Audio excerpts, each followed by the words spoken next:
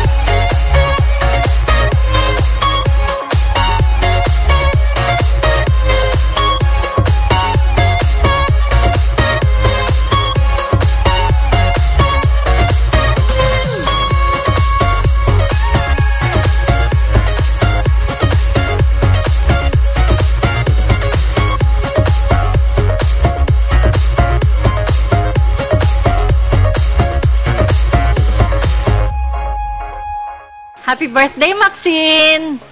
Uh, have a great fifth uh, birthday party. And see, si Buboy is enjoying your party too. Yeah, okay. Alright, happy birthday! Happy birthday, Maxine! Happy birthday! Happy five-year birthday!